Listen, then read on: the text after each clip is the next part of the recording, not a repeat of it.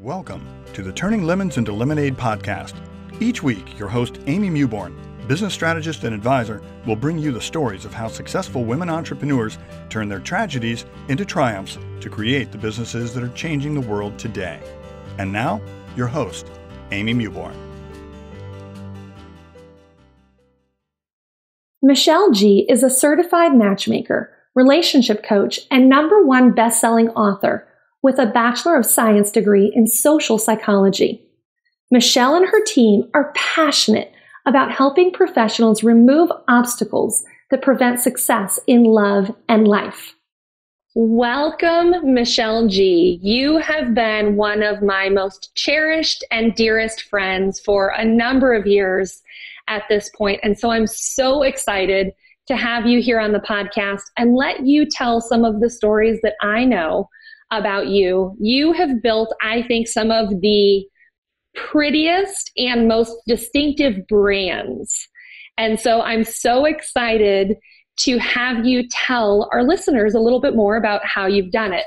So I want to ask you to get started is how you got started in your business. Well, thank you very much, Amy, for having me. You too are one of my dearest and closest friends. I mean, we chat all the time and, and I'm so, you know, excited to be here. So my first business, um, my first business failed. Let me just start by putting it out there. It flopped tremendously. Um, but I, I, I got involved in my business after serving in the Marine Corps for 13 years. And so I served in the Marine Corps. My main job, if you will, was military intelligence. And I also served in various roles of international diplomacy and conflict resolution.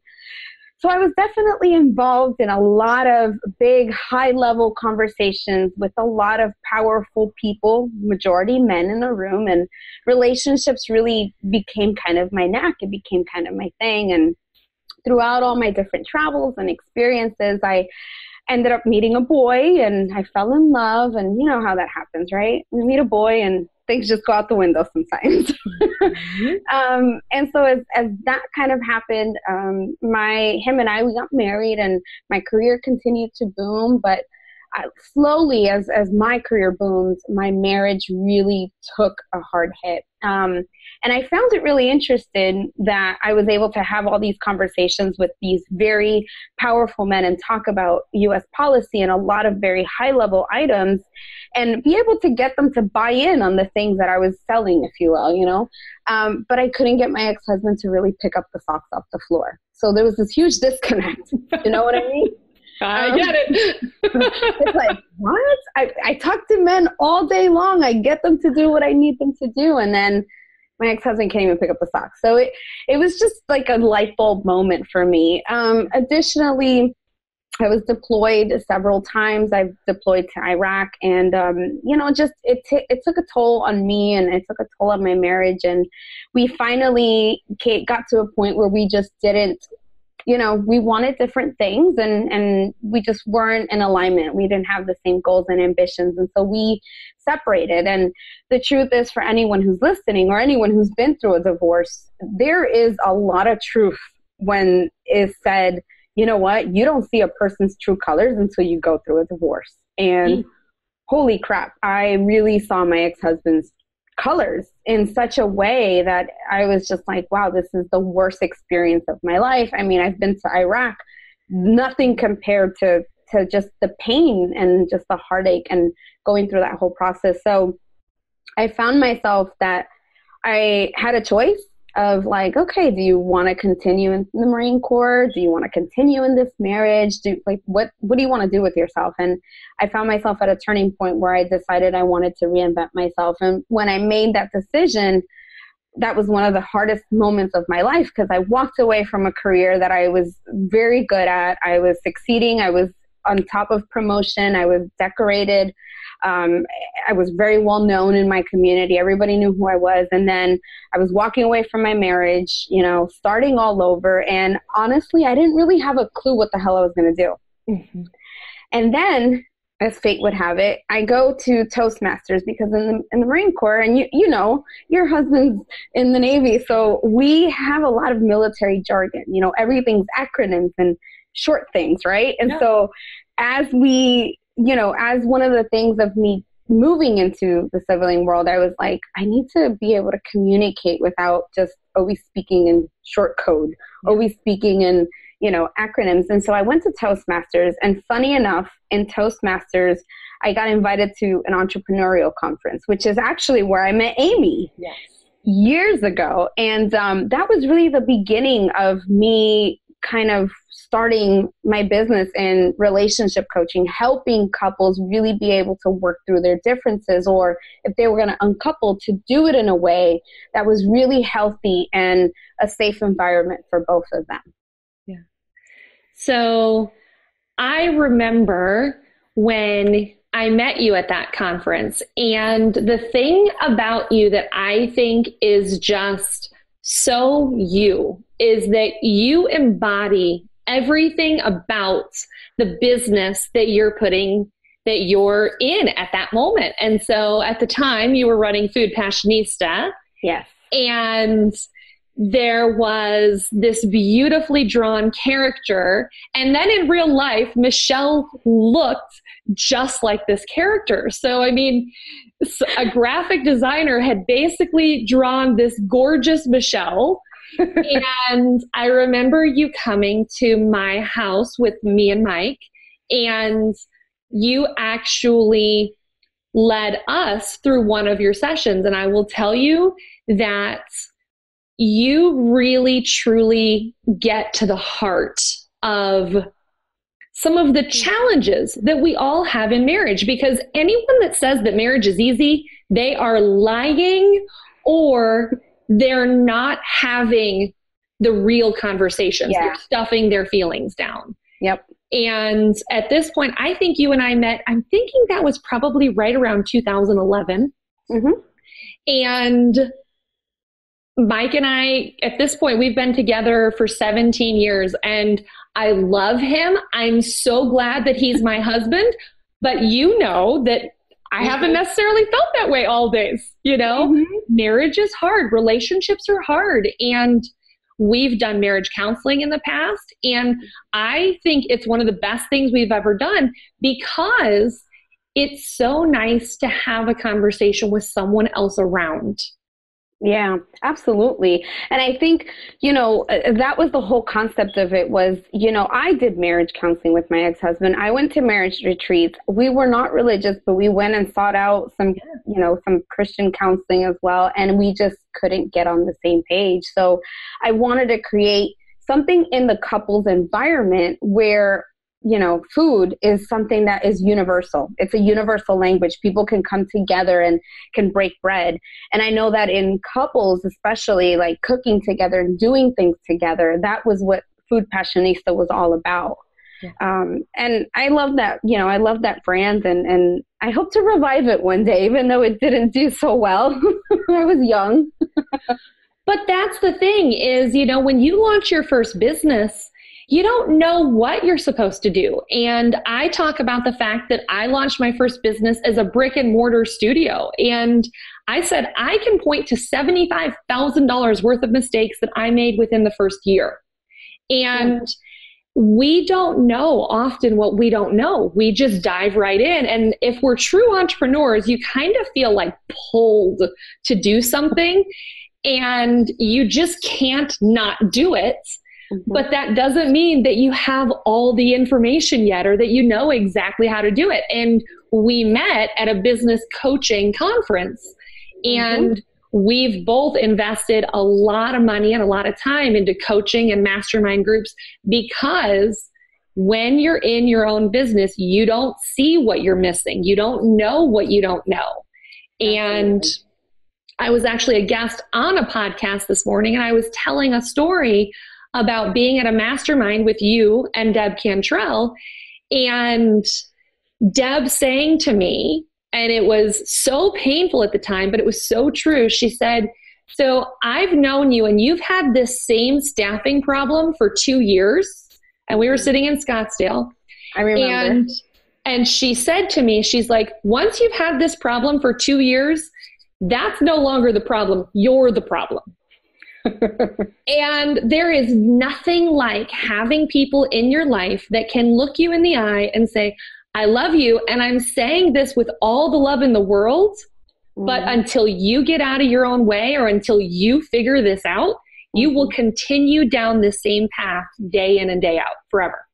Absolutely. And I remember that. And I, you know, I think uh, that was my first introduction at that business conference and meeting women like yourself and then developing these these relationships that are you know not just business relationships but these friendships. I mean the truth is that that's why i'm a big supporter and proponent of get a coach know what you're getting get into a mastermind where you're around people who are smarter than you. Because just because you're you don't feel like you're the smartest person in the room i know i felt that so many times with you and deb. You know i was still very very much a baby an infant if you will in in business but i learned so much from you guys. But i also saw that i was able to give you guys some perspective and some feedback that i was like oh wow i I, I didn't think that that would serve you guys but it did you know what i mean? So you know it, it, surround yourself around people that can that can be honest with you and like you said look you in the eye and tell you hey you need to you need to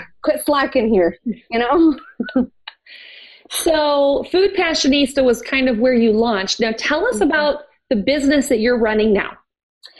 Yes. So that was where i started. Um, and here's the thing. I i love anything that has to do with interpersonal relationships interpersonal communication i really am just fascinated at the human experience and how much of our life is surrounded and it, it's all about relationships. So, um, as I worked with a lot of couples, I found that there was a lot of women who were in relationships or in marriages that were not healthy and they were looking to regain their voice and regain their power.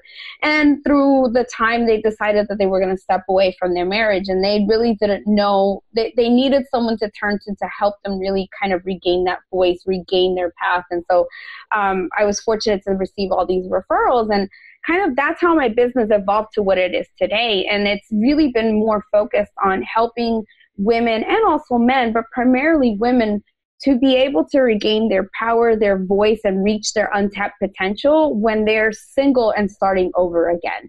Because it's not easy, particularly if you have um, children, you know, getting back out there and dating. You know, you don't want to feel this guilt of like, oh my God, I'm leaving my child to go and, and find someone. And then you have family members who also contribute to that, right? Mm-hmm. Or maybe you're a woman who didn't have children and you're starting over and then all of a sudden now you find yourself that you had this enormous amount of debt and all these other things that just are really uncomfortable and and we kind of have some shame around because they're they come from our past experience you know and you can call it baggage you can call it what it is but um and and that's really where my business has evolved is is in helping these women really not only find love but break through these obstacles that prevent them to be successful. Because typically you know, we're successful in our businesses and all these other areas, but when it comes to love, we want to take the same approach, right? We, we want to be that boss woman. We want to be that term boss lady.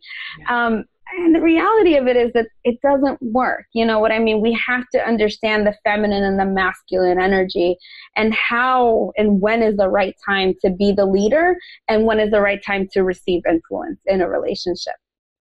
That is so profound because I think – that as women, we're so proud of the fact now that we're empowered and we have fought for all of the roles and the businesses that we've built. And it's really hard sometimes to turn that off at the end of the business day and just mm-hmm. show up and be a good partner and a good spouse and not be bossy.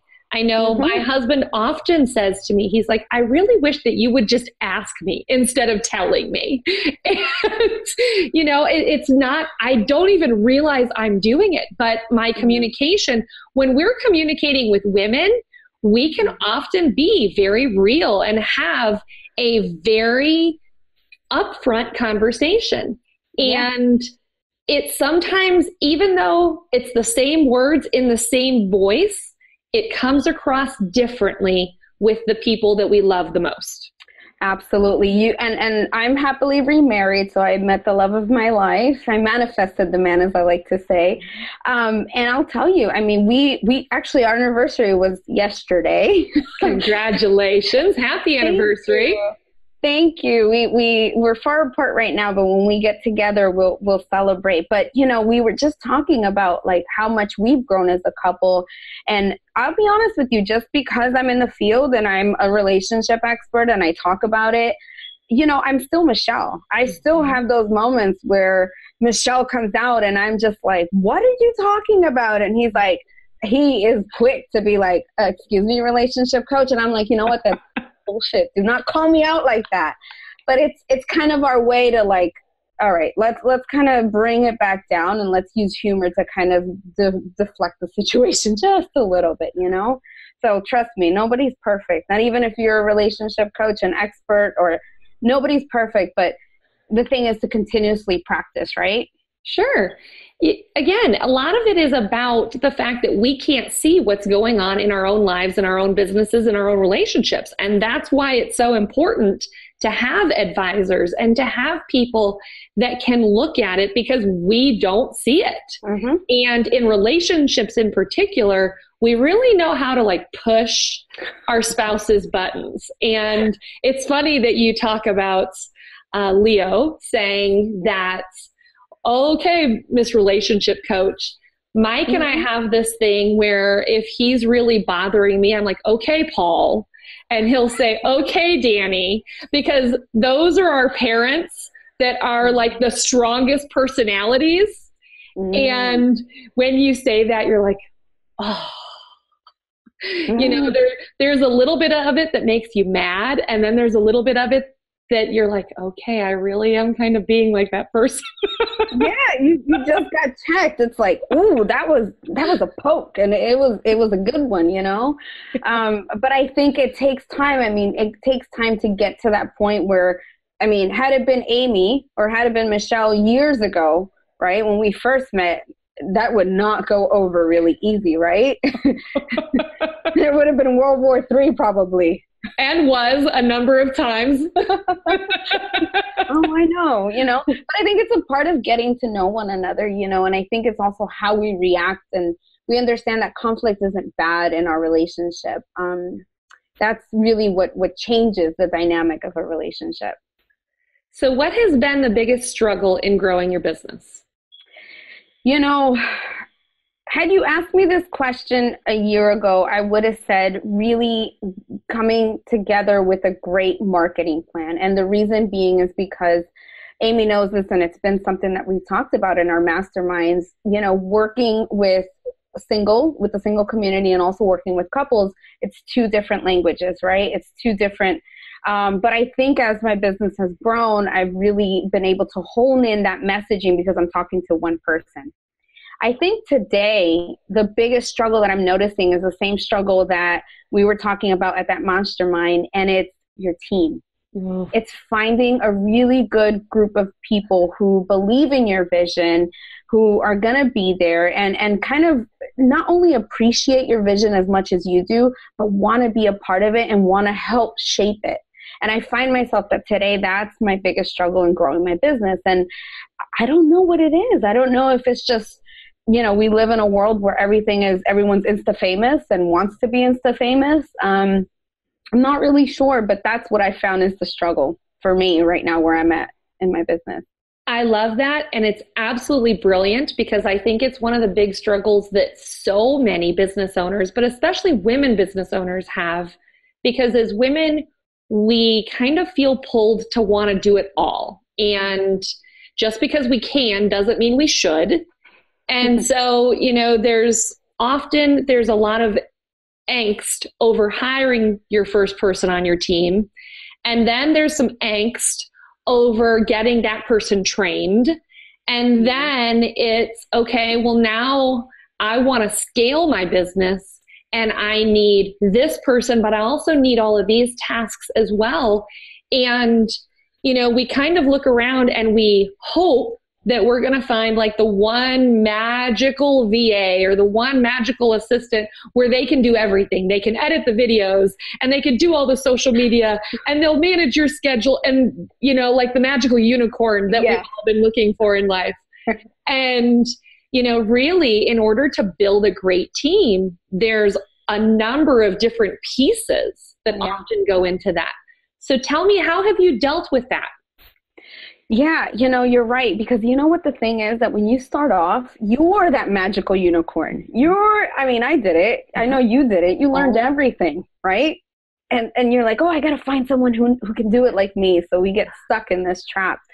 Um, I think what I, I, I will say the way that I've overcome that is my hiring process. I'm very methodical in my hiring process. So I like to be able to talk to people. Um, I I ask for very particular things. The first thing that I ask for is I ask if they have some sort of personal website or or anything that I can see online. I ask for a LinkedIn profile I asked for a resume, um, and it's amazing what some people present as a resume. Uh-huh. It's been kind of interesting for me. Um, also, ask them if they've taken any type of personality or strength finder test, and I, I get that actually from another friend of ours, which is Kelly.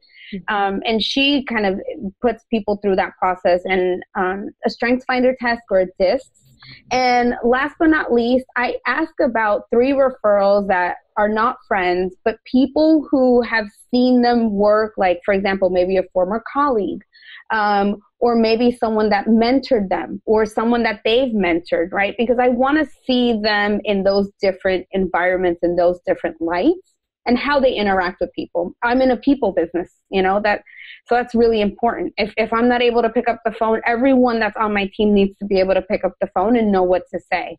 I mean, it's not their job, but I treat my business kind of like in the Marine Corps. We all have to wear multiple hats because sometimes until we get to the level of growth, then it's important that, you know, we all know what's going on. And I put my uh, my hiring process through three steps. Uh, they do an interview with me. They do an interview with my husband. My husband's a part because he knows me the best inside out. Um, so if if you don't have someone like that, but your right hand person, and then last but not least, I always have them interview with the rest of the people on the team because it's really important that as a team, I want to be able to say, guys, um, let's go out for let's come together at this time. Let's do some planning for next year but let's be able to go out and have a glass of wine and enjoy some music. Yeah. and that's really important to me because I, I bring that from my experience in the marine corps. Camaraderie is, is huge for me and that's how i grew up you know and, and i want to have that in in my business culture. So that's kind of how i've been able to really mitigate and and you know weed out the candidates that are not a good fit for me I love that. I always had the philosophy when I was hiring people for the fitness studios that if I would not invite them over to my house on a Friday night to sit with a great bottle of wine, then they probably were not a good representation of me or my brand. Yeah. And, you know, like you just said, camaraderie, when we talk about, especially when we're running online businesses, mm-hmm. when we talk about getting people on board with the vision and the mission, we have to be able to work together as a cohesive team. And the more everyone likes each other, respects each other, and wants to help each other, the less things fall through the cracks, the less finger pointing there is. Everything just works better when people like who they work with, period. I, you know what, and I'm glad you brought that up because there's something too that I don't know if look it doesn't matter. If you if it's you and one other person you're already a team. So i mean whoever's listening if you're a two man team a three man team or a 10 man team there's something that i want to say in regards to you know we use we do this in the marine corps and that's counseling. Every quarter we kind of do a evaluation i think it's what it's used in, in the civilian world but i always call it a counseling and it's not a bad thing but it's an opportunity to t- highlight where you're doing really great, what areas need improvement, and what what are your goals? Like I think as small businesses or mid-sized businesses, we need to invest in our people so our people invest in us, which means we need to take care of them and care about what are their goals and aspirations because that goes such a long way in being able to build that cohesive team in the long run. That's brilliant. So tell me, what has been the absolute worst day in your business? Oh man, the absolute worst day in my business. I remember it clear. My assistant, former assistant, Mickey calls me, and I believe it is 4:56 in the morning. Um, she calls me and she says, "Michelle, um, I was trying to do something in your CRM system, and I have deleted your entire mailing list." and your uh, your your welcome campaign. And I'm that like, was, that was mine too. The same exact thing. That is the worst day in my business. How the, how does that happen? But keep going. I don't know. I, I don't know how it happened. Um, it was only the welcome, and I had it in a separate doc, so I wasn't so upset about that. But my email list, like I have been working hard. Some of these people, like I know the people on my email list through events, through whatever, and I literally I took a big gulp and I, I looked at the phone and I said, she's like, I'm trying to call. At that time, I was using, uh, I think I was using Ontraport. I, I think that's what I was using. She's like, I'm trying to call Ontraport. I'm trying to see if they can do a backup. Man, did I learn the big lesson? A lot about how you have to back up your email list almost weekly. You know, don't rely, you know, because a lot of the CRM systems they that I know of or the one that I use, they don't back it up for you. And it was just like, I wanted to literally throw myself off the bridge. And here's even one here's another kicker. We were getting ready to do like an email marketing campaign, um, like a three series to get people to, you know, come in through that and be able to work with me one on one. So it was a really personalized series and I had picked the people and everything. And I said to her, okay, Michelle, her name was Michelle too. I said, all right, Michelle, listen, um, I, I need a moment. Um, I need you to call and keep trying to figure this out. And uh, I'm going to call you back. And I literally hung up the phone and I think I just screamed. And Leo came out and he's like, What happened? And uh, he's like, What's wrong? Are you okay? And he calls me Mama. He's like, Are you okay, Mama? And I'm like, You know what? I am going to freaking kill this girl. How hard is it? What what happened? I, I didn't even ask her what happened. I couldn't ask her what happened. I had to like get all this out of my system and then I could pick up the phone and just say, Hey Mickey, what is going on? Like tell me. But literally that was the worst day because here's here's the kicker on top of that. We had not generated any profit in that month. So I was counting on this being a big campaign to drive in and bring. I mean, we were at we were at no pro, like literally at no profit. So of course I had to pay her. I had to pay my bills. I was shitting bricks, mm-hmm. and yeah. So that was the worst day in my business. And the thing is, as entrepreneurs, those are those things that you never plan for, you never imagine will happen to you. Mm-hmm. And for me, it happened on cart open for the biggest launch I'd ever planned. And, you know, all you can do at that moment is say, well, crap, that is like the worst thing that I think could have ever happened to me at this moment.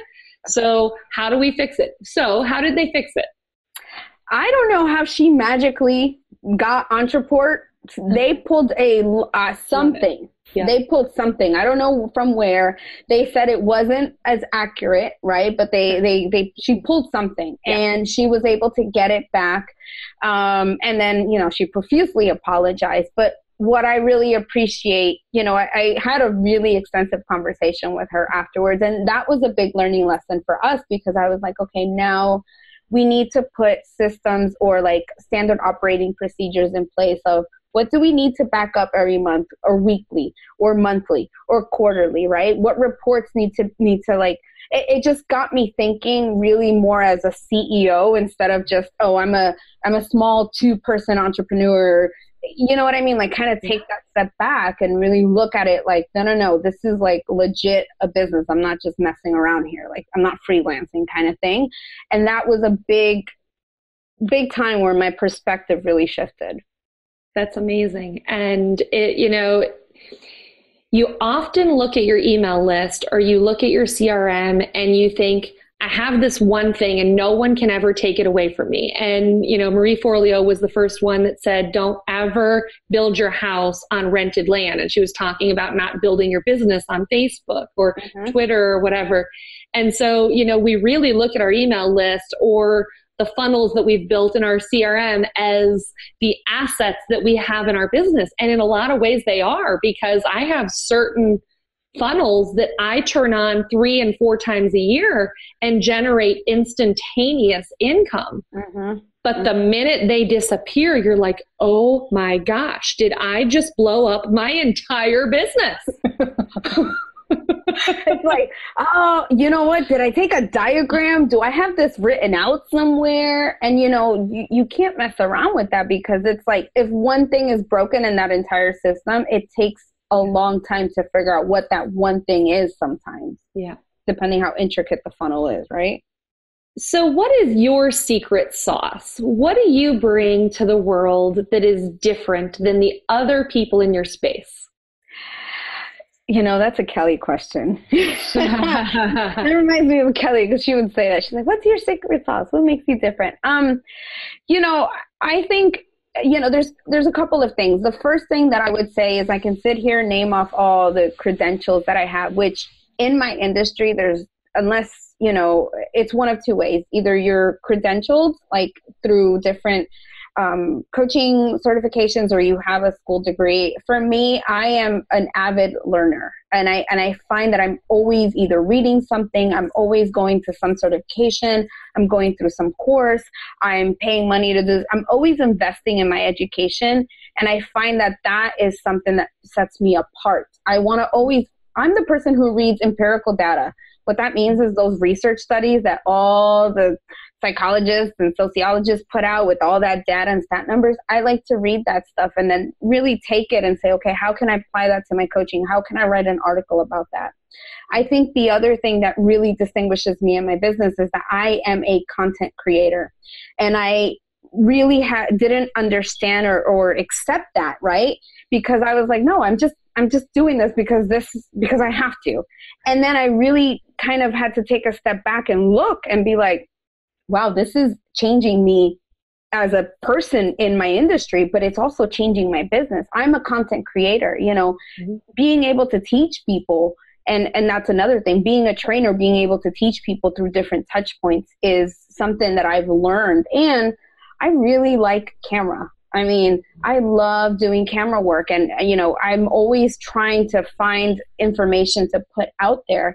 Um, and that's something that I actually have to get back to. But those things I feel is what makes me different. And also, I'm very tough love. What you see is what you get. I'm never going to sugarcoat stuff. And I feel like a lot of people out there may give some cookie cutter advice or regurgitate what they've heard. And for me, it's all science based, there's a research technique, there's something to back that up. I love that about you. And actually, I think that's one of the things I love most is that I know that you're the person that if I call and I'm like, Mike and I got in this fight and we're talking about this, you have no problem saying, Yeah, you're probably in the wrong there.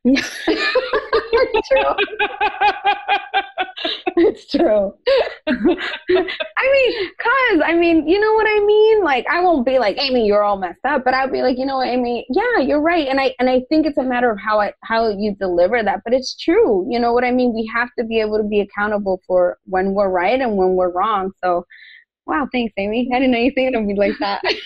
we have we have to be coachable because so often we pay for coaches and we don't take their advice. And what is the point if mm-hmm. you're not going to genuinely take a moment and listen and try to see it from their set of eyes? Yep, so, absolutely. So, what is the number one resource that has helped you build your business to where it is today? You know, it's uh I came across it. It's called it's a website. It's called LeanStack, leanstack.org and it's um I can't remember the name of the book. They also wrote a book about this and it, it's um I think it's leanstack.org. It's really you know, I've always struggled with this whole business plan concept because I've always found it to be something like so overwhelming uh-huh. to have to figure everything out and here comes this resource that was, you know, created like an actual tool based on this book. And it really helps you get to like the quick seven things you need to know in your business to really grow it. So that would be one resource that I would share um, that really has changed my business over the last three years. I use it every year, every year, even for the new business that I'm, I'm going to launch, and it's free. That's cool. the beauty of it. Awesome. Well, we will make sure that we link that in the show notes. What one piece of advice would you give a woman a woman business owner who was maybe at that $50,000, $75,000 a year gross revenue where she's really trying to scale her business but doesn't really know what to do next? You know, the one piece of advice, if you're at that level, number one, number one, I would say make sure that you're owning what it is that you've built for yourself. Because I find that as women, we don't own that. Oh, well, it's not good enough. I haven't reached a hundred thousand. I haven't reached this. And it's like, quit poo-pooing yourself. Mm-hmm. Look what you've built. That is the first thing. Once you own that, go out there and find a group of women led by a mentor, a mentor who has built a business that you're like, wow, can show, like, can actually, you can see that they've built that business and hire that person immediately. Because I'm telling you right now, you're not going to go past that number trying to do it on your own. And, and surround yourself with, with look into their network. See what kind of network they have. See what they've invested into in themselves. And then you know no matter what it costs does it cost 20 does it cost 25 does it cost 40,000 you know what? But you know that what you're going to invest and what you're going to get on return is just going to triple or double double or triple your business i should say. Um, and that would be the best advice that i would say for a woman who's at that bracket right now. So you have a whole bunch of things going on in your business and i would love for you to brag a little bit and tell us what you're working on that you're most excited about right now so we are launching an extension of our brands, which is a cosmetics line. Um, really, really, you know, it's just it's not just any cosmetics line. My long term vision is to really build a woman's wellness company, right? That encompasses the mind, body, and spirit because where our mind, you know, where our mind is, where our mind goes, our body follows, right? And we are mind, body, and spirit all together. Um, and one of those things is that when when we talk about mind, body, and spirit, and and women's wellness and empowerment and all this stuff, at the end of the day, it comes down to how you feel about you about yourself. Do you have that radical self love? And so, I wanted to really bring forth a brand and start with something that we can start transforming from the outside in. Because, yeah, transformation happens also from the inside out, but sometimes that doesn't work for all of us. We have to start with the outside in, and that works for us. I mean, we're not cookie cutter. Mm-hmm. And so I'm really excited to be launching our cosmetics line in the next month. Um, it's going to be called Incredible Love, and I, you know, you can visit incrediblelove.com and sign up for a wait list. We have all different types of beauty products, but they're very particular. It's for the professional woman who wants to transition from that day to night look. Are you single? Are you married? You're going out on a date with your hubby. You're going out on a first date. You're going out with the girls' night. We want to give you the tools to help you transition that look into the next thing. Awesome. So by the time this airs, then it probably will already be out. So incrediblelove.com? Incrediblelove.com. Perfect. And tell us where can our listeners connect with you? Where are you hanging out nowadays? You know, I'm on Instagram. I was on Facebook, but I'm on Instagram. So please connect with me on Instagram. It's at msmiss.michelle. That's with two L's dot G. So I'd love for you to connect. Send me a DM and, um, you know, let's connect on there. I'm always on there doing stories and stuff. Perfect. Well, again, we'll make sure we have that in the show notes. But Michelle is super active on Instagram and she's always doing great little tips and everything. And again, whether you're looking for a relationship or you're in a relationship, so many of the tips are helpful just about identifying who you are and how you're showing up in the world. Absolutely. You're still dating one another even once you get married. Let's not forget that people.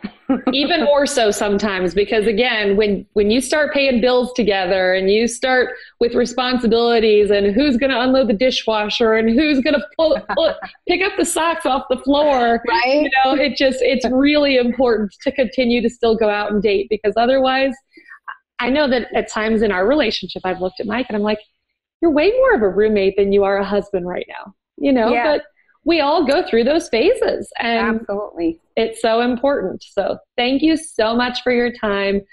Always a joy. You just you bring light to any room that you walk into. So thank you. Thank you. I love you. And to your listeners, thank you for your time. And remember, every day is a new day to reignite your relationships. In today's episode, we talked about masterminds and mentors.